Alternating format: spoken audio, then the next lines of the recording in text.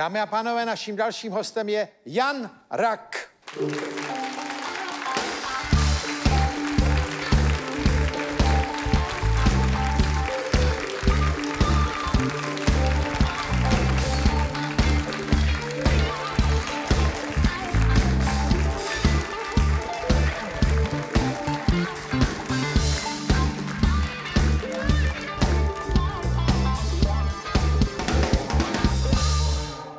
Dobrý večer. Měl bych říct, že já mám pocit, pane Raku, že vy jste teďko takový, nebo teďko možná delší dobu, ale já jsem to zaznamenal až v poslední době, takový módní host, že jste byl v řadě pořadu a všiml jsem si, že vás vždycky zvali dámy, teda, nebo často.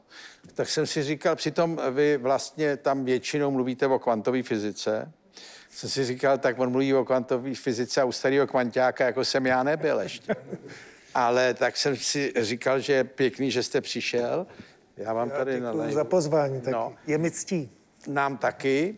A já jsem teda se kouknul jenom na takový kousky těch uh, vašich návštěv a uh, oni vám vždycky dávají dopředu najevo, že tomu nebudou rozumět.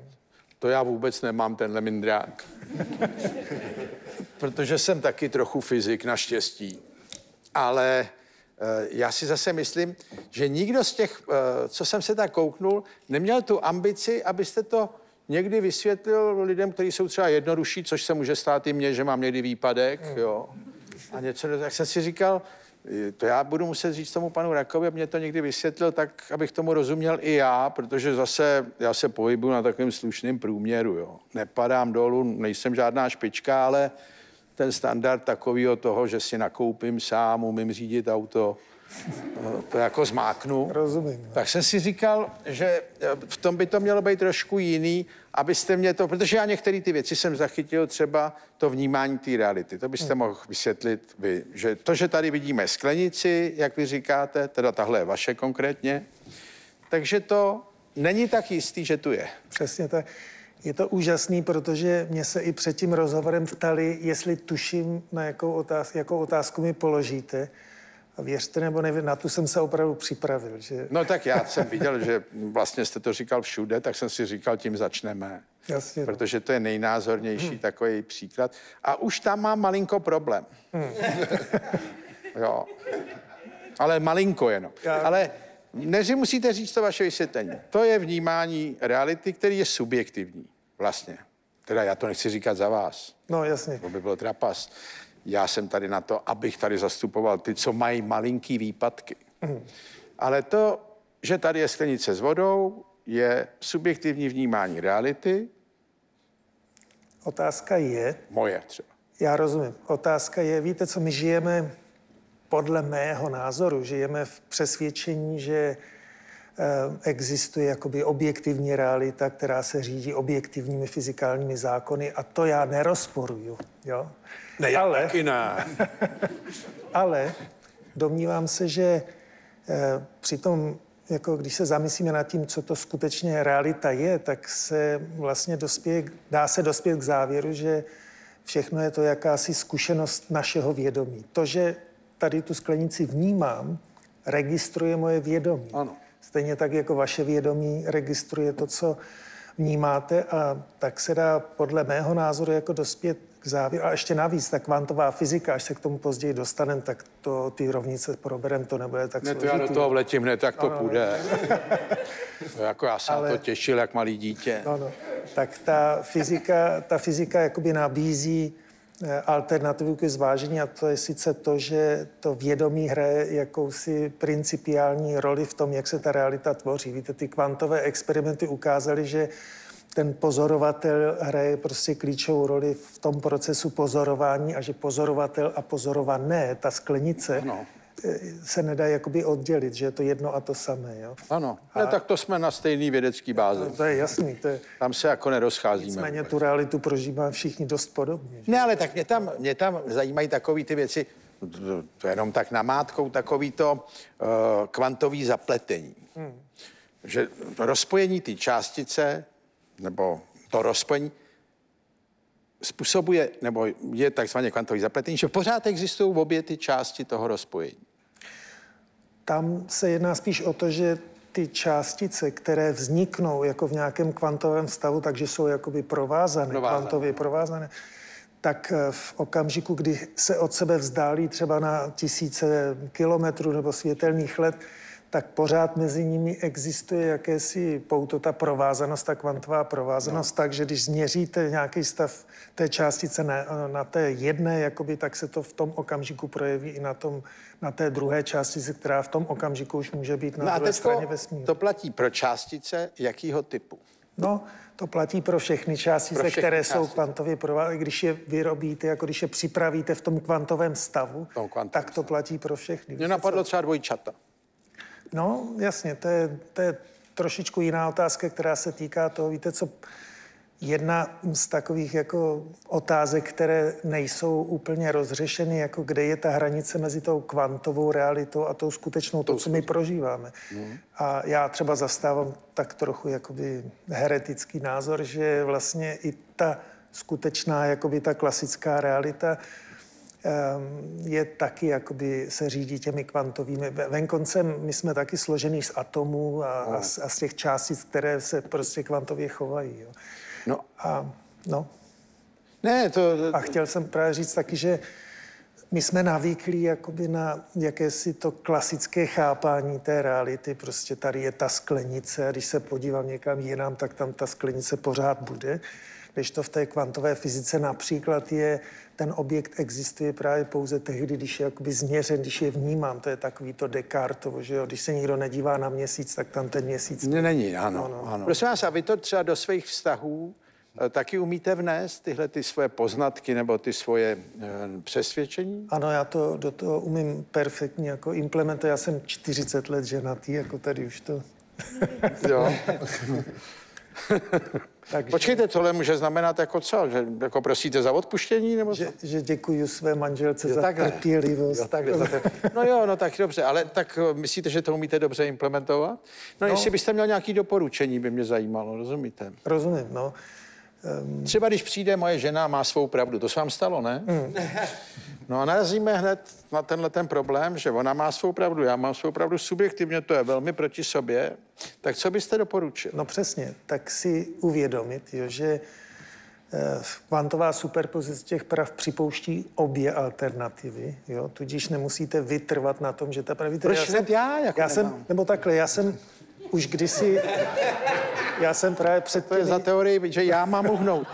Já už, já už jsem před mnoha lety přišel na to, že vlastně dva pozorovatelé se nikdy nemohou shodnout Ne, ne, přesně na tom, No. jak to bylo, nebo Ano, co ano. vlastně pozorují. Ano, to je pravda. No ale ta domácí situace, kde jste začal tím ošklivým, že já bych měl jako uh, si uvědomit, že pravda může být...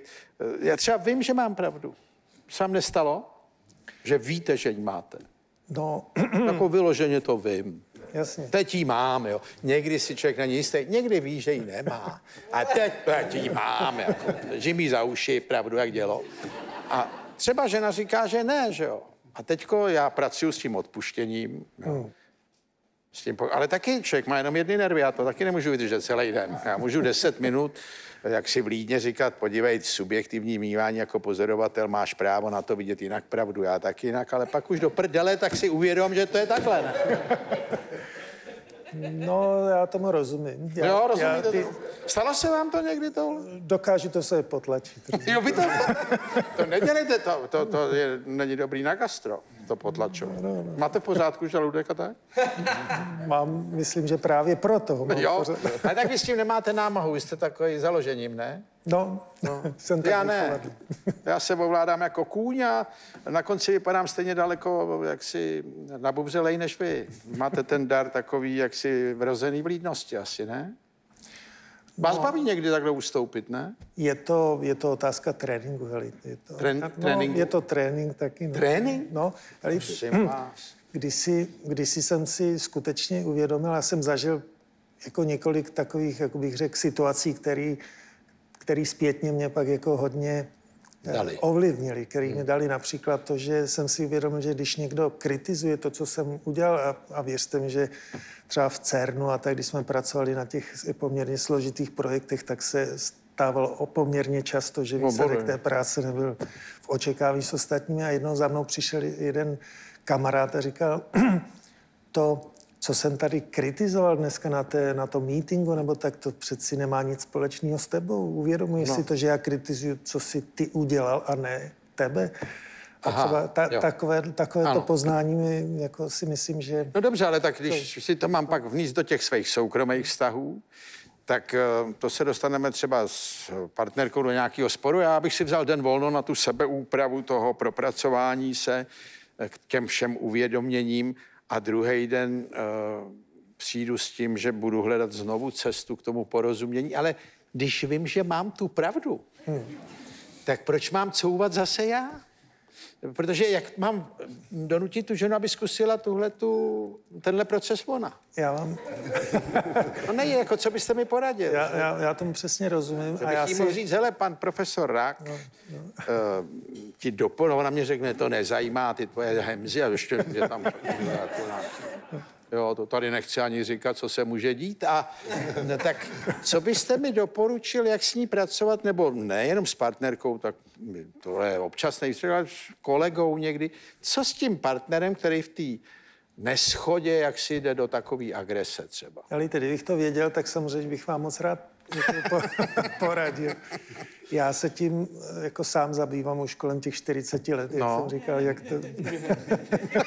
Pracujete na tom vědecky? Pracuji, pracuji na tom. Jako, samozřejmě, jako myslím si, že se jedná jako to, to vědomí toho, že ta pravda jako nemusí být tak výlučně prostě jenom jedna, jo, tak to si myslím, že je dost osvobozující i v partnerských vztazích. No, to... Dobře, ale tak, pane profesore, podívejte, vy přijdete třeba domů a pravda je, že jdete z práce rovnou domů. Hmm. Dejme tomu. To je hypotetická situace. A žena vám řekne, že ví, že jste byl v hospodě. Hmm. No tak mám si říct, něco na tom je? Helejte.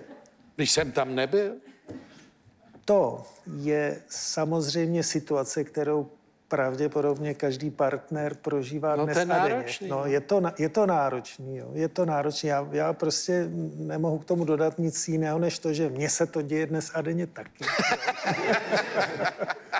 a No a jak s tím vy pracujete? A, a já s tím pracuji tak, že prostě se intenzivně zasoustředím na to, abych toleroval verzi reality mého partnera. No, no tak to já se takhle zasoustředím taky.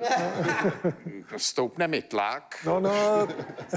Pak začnu uvažovat o tom partnerství, jaký to má vlastně hodnoty všechno. A kolikrát se ještě budu muset takhle soustředit a vypudí to ze mě zvláštní sílu osvobozující, že se ne nenechám něčím, co není pravda, převálcovat. Protože když tomu nebudu odporovat, tak se to bude zhoršovat. No, to je, teď jsem možná narazil na další aspekt jako kvantové fyziky. No, teď já v tom furt lítám. No, no, no, jasně. Co vám to a, říkal na začátku? Jasně, a to je to, že jako ten problém jako vy měření, nebo to, kam soustředíte vy pozornost, tak to se děje. Jo? Takže jedno z řešení je tomu prostě nevěnovat pozornost. Myslím, to je alternativní. Odvést tu pozornost. Takže ona mi řekne tu lež čistou. No.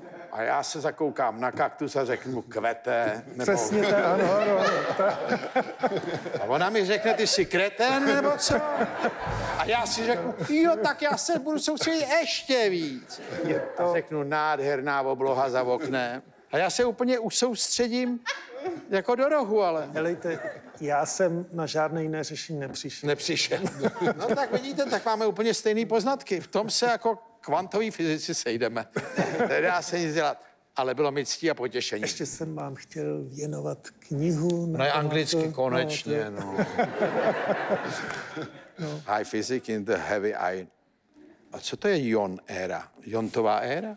To je, to je ta éra těch urychlovačů, na kterých jsem pracoval. Jo, konečně si to opráši. No, no, no, no. A jsou tu i tabulky, zaplať pán. Moc děkuju. Jan Rak.